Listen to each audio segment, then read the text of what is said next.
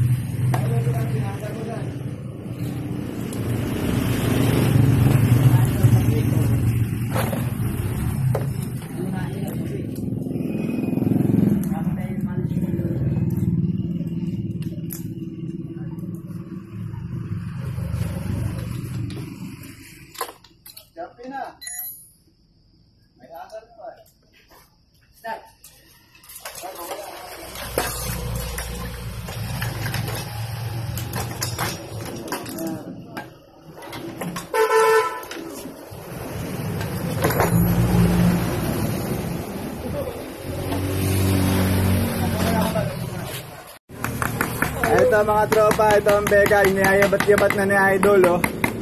Yan yung pogi kong Idol, oh. Yan ang ano, pagdating sa bike, halimaw to, torpa. Sikat to sa Infanta, Jeric Rabal to, boss. Jericho. Yan. Ito gusto, yabatin mo na ako dito. Alright! Up! Wala nang tuloy yung mahaba rito? Wala na. Ano yung mahaba? Wala. Wala Dito na. tuk- tuklabin mo lang dito. Dito yan. Ayun, mo doon.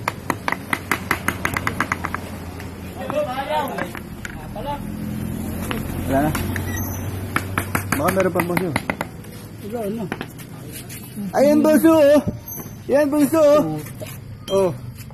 Nakita nyo mga paps, pagka gagawa kayo, hanapin nyo lahat ng tornilyo.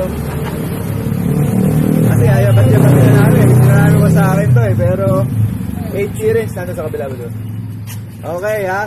Watch out mga paps. Makikita nyo kung paano buksan ang Vega. Okay? Vega Vega. Ah, makikita natin itong Vega. Inabot kami ng baha rito. Sa Infanta kami oh. Ang daming panlik pa mga tropa. Nakita nyo yan? Panlik yan oh. Kita na. Yan yung mga putik-putik na yan. Tropa.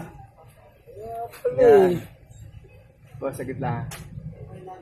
Kanina ko pa eh. Yossi, Malboro, 7 ako. Malboro ka ba? Ulam pala. Ayun. Ayan na. Oh, simple lang. Ayan na! Simple, simple. Walang kaya ba't niyabat, oh. Ayan mo siya sa garapon. Kismis sa ibabaw. Dito. So, hindi ito problema. Okay yan.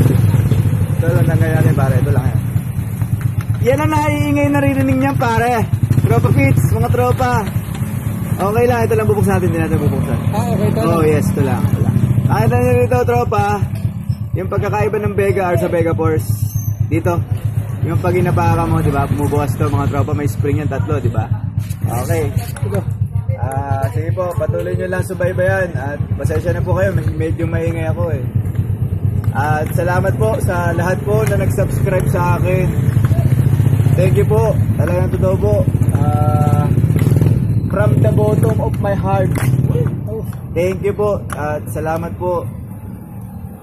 Opo, thank you po sa inyong pagsubaybay at totoong tinatanaw ko ng malaking utang na loob yun, mga paps, mga sir, mga boss, mga ma'am. Thank you po, thank you po. Eto, dinaspasan na ni Idol to. Motor kasi niya ito, dito kasi sa teritoryo ko, self-service dito mga paps. Fix at your own ano, at your own risk. Kaya tandaan nyo mga tropa, ito yung Vega R. Wala ba yung kahan natin ano? Ayun ka, ayun ka. Ito, ito yung mukha. Makikita nyo naman na Vegang Vega R to mga paps. Medyo, medyo oldies lang to, pero at least. Wala yung mga pare. Medyo patanggal na na. Babayaran na lang ako.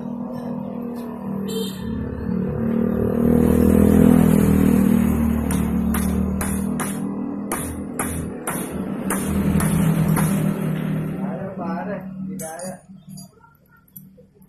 Papawelding mo to pare. Hindi na talaga. Ayaw na talaga.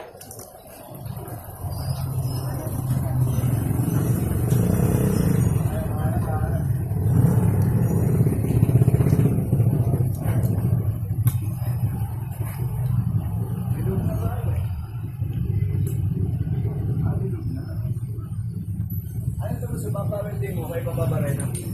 Papabaray na. Tapos papalitan mo na ng bagong nagpato na po. Okay naman, sir. Buksan ka ba? Pabare. Yan mo buksan yan, pare. Okay, tanggal yan. Ano yan, 19. Yan, okay. Ito yung Vega R.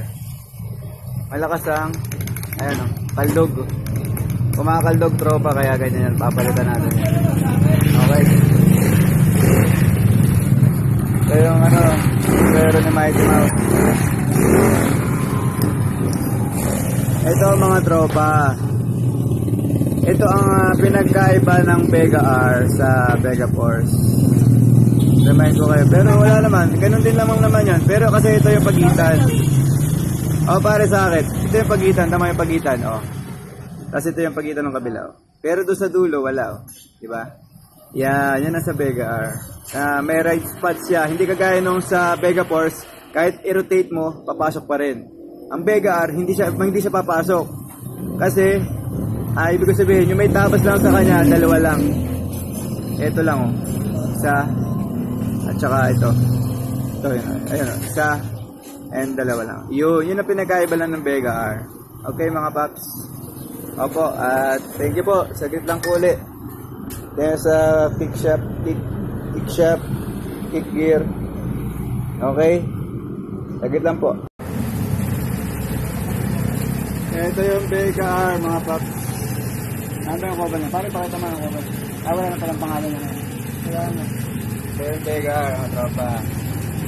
Medyo gabi na lang tayo. Ito yung kapitan sa dulo ng kick shop. Ito yung clutch basket niya. Ito yung kanyang primary clutch, mga paps. Titignan nyo ito. Eh, syempre, eh, ano to? Talagang, ah, ang tawag nito, Vega R.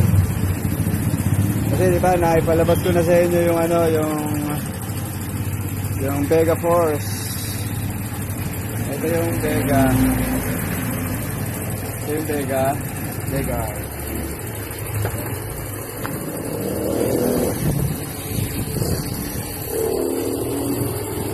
Kasi malalaman natin talaga kung Vega yan. Kasi susiyan yan, nandito sa likod oh. Ayan yung susi oh, ang tropa. Ayan yung susi. Oh, Ayan, plaka. Tandang-tandaan na, pisang na nga eh. Oh. Kala niya mga paps. The Vega Vega, the Vega R. Ayan.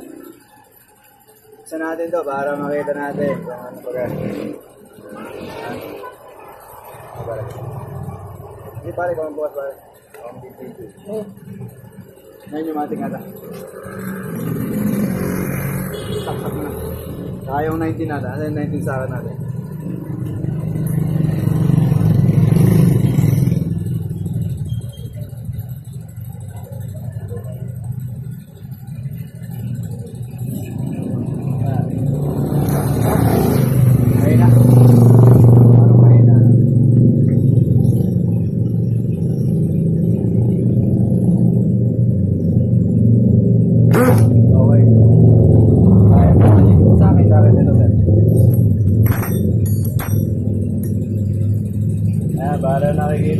Mga tropa.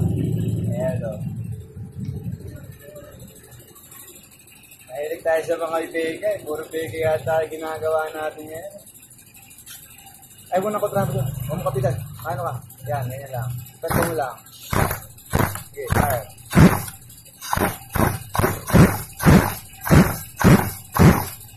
Cambio mo, idol. Tawa naman ang paa yung gulong.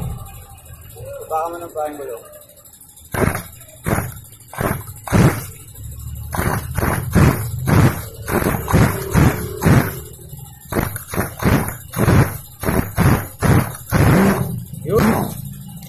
Kabila pare ito. Ito. Okay.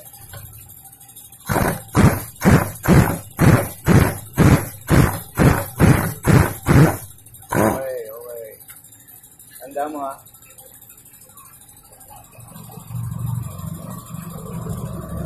Yan ang tamang paggagawa mga paps. Ah, sige na si tayo pero Sige, isa-isa mo lang para makita natin. Isa-isa lang.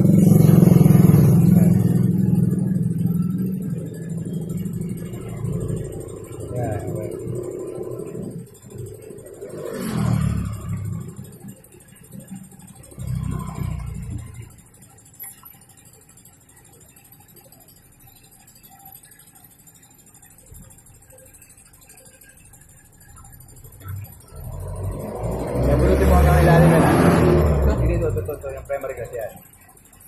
kailaliman, nananabog kasi yan eh. Yan, yung kailaliman, idadamay mo yung kailaliman ha. Ayan, dadamay mo. Uga-uga lang. Kaliwa kanan lang yung kaliwa kanan. Kasi baka sumabog yung ano, yung may ano, steel ball.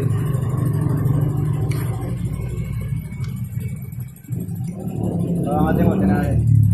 Kung basag ang kung basag ang clutch case. Hey. Basag ba?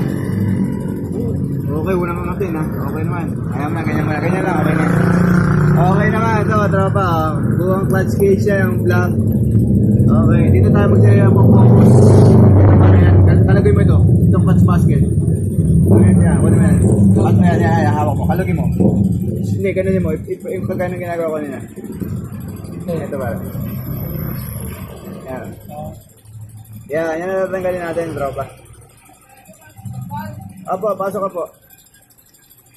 Saan ka magkalat? Oo, oh, kalugay, kalugay. Kalampag. Ito mga. Ito mga paps. Ah, napunta na kasi namin to, pinunta namin na sa spring. Ngayon, tatlong putol na spring. Ayan oh, mga paps, tropa. Kaya pala, pag kumambyo ka, kumakaldag-kaldog siya. Yung tipong tumatakbo na kahit hindi mo pa silinyadoran. Ewan ko naman kung bakit laging pagka mga Yamaha, Vega Force, laging ano doon, nasisira. Yan ang ano. Hindi kagaya ng ating mga ibang brand. Medyo, ito, lagi masisira ito. oh. Ano ba yan, kuya? Check natin kung may makikita tayong spring pa. Pero, iisa na yun eh. Tatlo? Tatlo, no? Tatlo. Ah, lastig na eh. Ay, lupo. Ayan, lapit mga tropa. Okay. At saka itong kanyang talagang ito, primary crush niya, bell, malalim na rin mga paps. Ayan, gasgas na. Okay. Tapos pagka pinagmasdan nyo, ang Vega 4, ah, Vega, ano, Vega R, ito mas makapal ang clutch line. Ayun yung kapal. Yung thickness.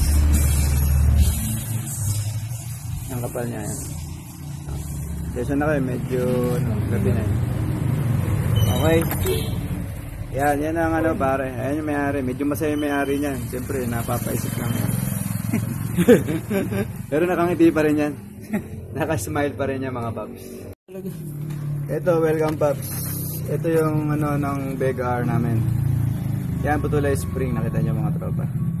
Ngayon, papalitan namin yan ng ano, clutch spring ng Mio Sporty. Ah, uh, ano to? Powered by Monkey. Oh, di ba? Try natin to mga tropa. Kung mapuputol kasi lagi na lang napuputol to eh. Lagi napuputol, original pa yan ano yun, spring. Eh ito, try natin to ha. Ah, sa torque drive to, sa clutch spring ng Mio Sporty. Ikakabit natin dito sa sa Vega R primary clutch. Okay? Ah, sige po. At talagang uh, ginit rin to eh. Okay, dito ba? Eto, try natin kapitan ng ano ha. Na clutch spring ng Mio.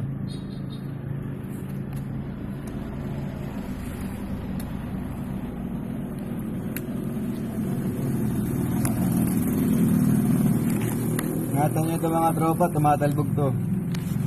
Itong circuit.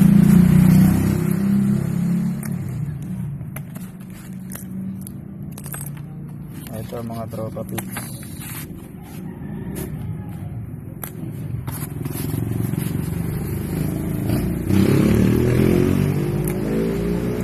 Yan. Para nakikita nyo. At thank you po sa nag-subscribe na po sa channel ko mga paps. Nakita nyo yan sir, mga sir, mga paps, mga madam. Ito po oh. oh. Kasi naputol na po eh. Kaya kailangan nyo yan.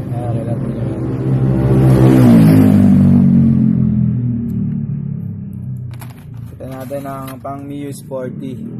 Mahala nyo eh, mas kumandang takbo. 1,000 RPM yan sir. 1,000 RPM.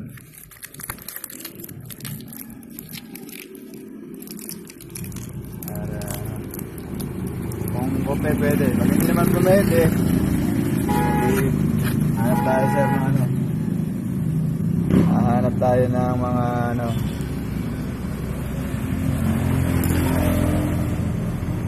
Pag hindi match, wala tayong magagawa. Hanap tayo ng magmamatch. Kailangan ganun. Pag hindi nag-match, hindi sorry tayo.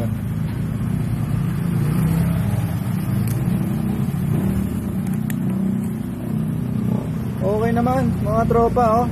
Isa pa lang yan, eh. Medyo firm naman ang kagat niya. Gaya natin yung ano niya. Ayan, oh. Ang taas ng RPM, mga tropa, oh. Ito nyo, paano bumuka? Okay naman. Ewan ko lang, pag pinaandar na natin to, syempre, hindi pa natin nasubukan kung sa takbo, kung ano. Pero sabi ko nga sa inyo, huwag kayong matakot magkamali. Tandaan nyo mga tropa, huwag kayong matatakot magkakamali.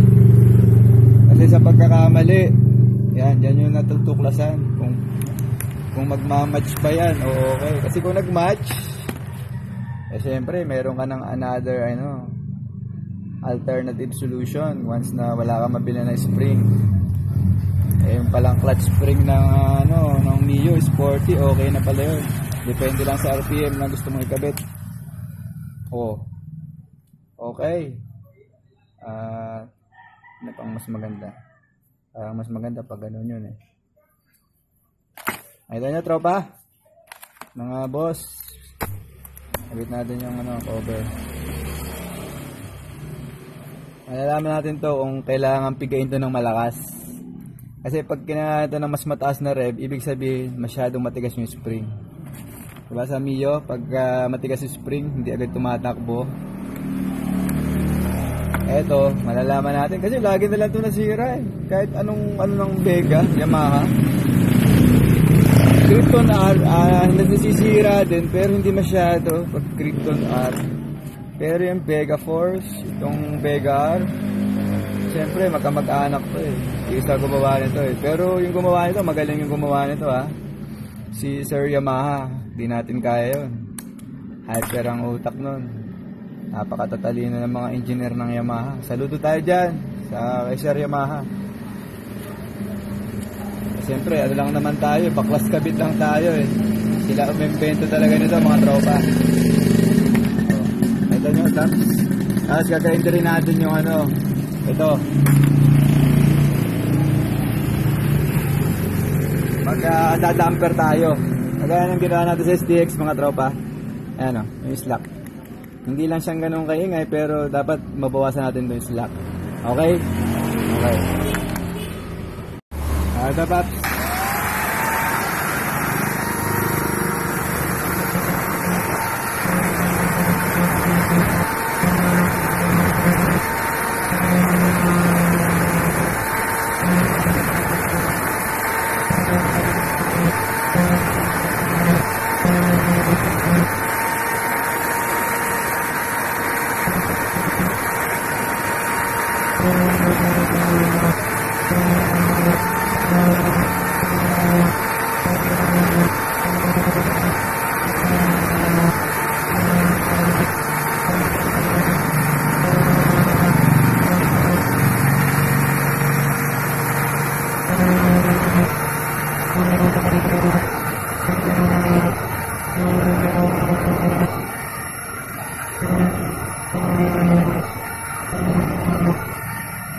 ito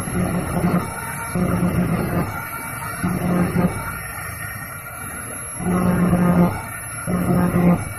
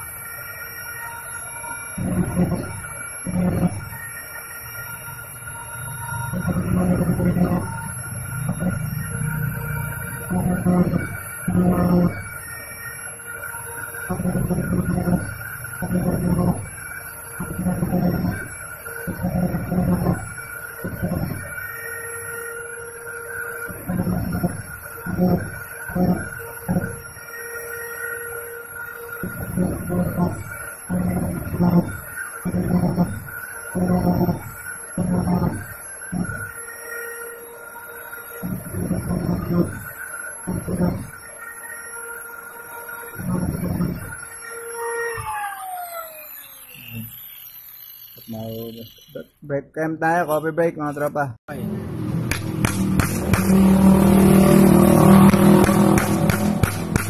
Grind na natin pero check natin yung clutch damper. Gabi na tayo pero ito talaga ang medyo natin.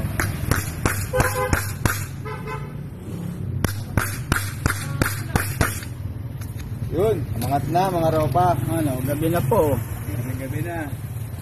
Ah, ito, tingnan natin mga tropa. Yan oh, surprise. Ayun. Ah, nag-ano siya, nag-shrink ng bahagya. Pero hindi kagaya doon sa binak nating STX, di ba? Halos raisins na lang yung nakikita natin. Ngayon ito, kakalangan lang natin ito. Pwede pa ito. Ah, pwede pa ito. Tatanggalin natin yung bahagyang slack. Kasi pag masyado namang ito'y walang slack, walang masyadong ganito, pre-play. Sa kabaliktaran naman ang mangyayari ito. Kung kailan ka umapak ng cambio, saka siya umiingay. Ganyan mga tropa. Diba? Pagka umapak ka ng cambio, nawawala ingay. Ngayon, pag sobrang tigas na slack, ang nangyayari ito mga paps, pag sobrang tigas, wala itong masyadong pre-play na kaunti. Kung kailan ka umapak ng cambio, saka siya umiingay. Kabaliktaran yan mga tropa. Oh, kalimitan nyo din yan, yung mga usok pa yung mga export natin. Yung mga 4 stroke, ah, 2 stroke natin na Suzuki, ganyan ang nangyayari yan. Okay? Okay, ikakalangan lang natin yan ng hindi masyadong ma-play. Okay?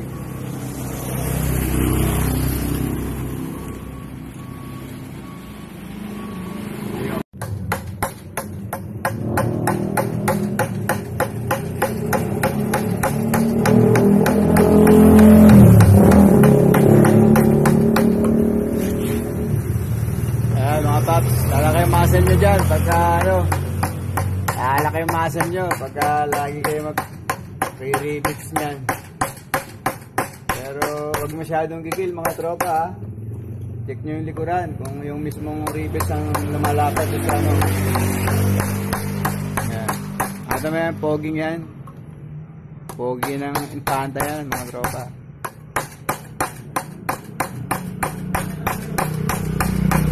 Ah, pag-repeat. Ganyan lang yan mga tropa. At lagi ko pong binabanggit yung po sa lahat po na nag-subscribe sa akin. Thank you po. Thank you po ng marami sa inyo mga kaibigan. Marami pa tayong video paparating, mga tropa, mga paps. Okay na. Ilapat mo bang mas maganda? Double check. Lapat na lapat na ba? Hindi pa naman. Hindi pa. Try ko na ng lapad. Oo, lapat na.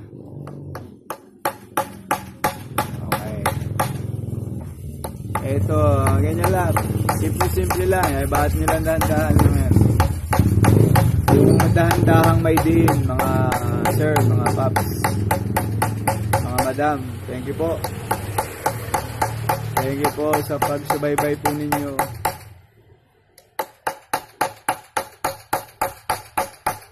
At sana po maraming matuto pa sa nilalabas natin mga video. Opo. Yun na naman talaga ang ating layunin eh. Para makapag-share. Eh, di ba? Sana po eh matuto kayo mga sir, mga paps. Ayan, pwede po nga maging ano, guide nyo para kung magagawa kayo, i-watch nyo lang, matututo na kayo.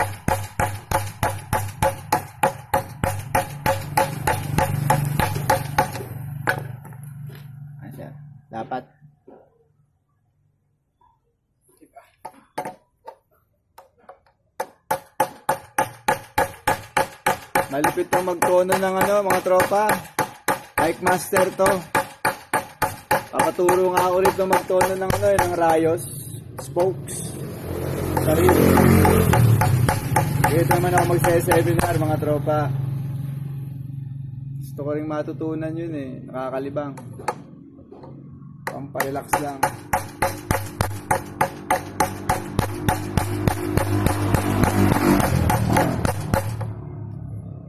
Shoutout po kay Sir Motolife.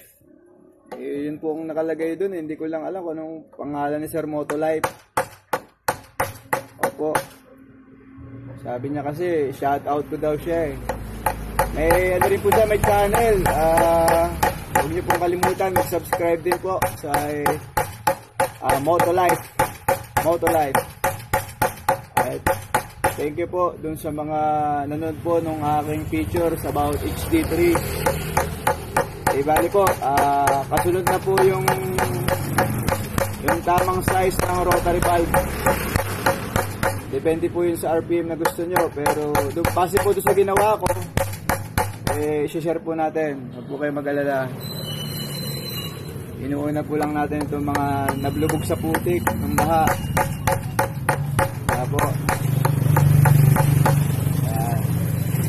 Ito po yung HD3 kung para maniwala kayo sa akin. Ito yung HD3 natin. Medyo lang uh, makalat yan. Ah. Ito po HD3 natin mga tropa. Ah, hindi man ito yung ating ah, yung ating ah, gagawin para dumikit o lumagpas pa sa Raider 150. Ito po HD3 natin. Abangan nyo. Abangan nyo mga paps. Kay Amoyo. Amoyo ba yun? Kay Amoyo. Forever Kawasaki yan. Forever Kawasaki. Kay Amoyo. Thank you, sir. Nakita nyo rito. Nakita nyo rito kung anong sekreto ng rotary valve. Uh, kung paano tataas na RPM ating HD3. Eh kaso stock lang to, bubuhin ko to bukas eh. So, Ginakto nung may-ari, eh, kinalawang na sa tabihan. Okay po, ha?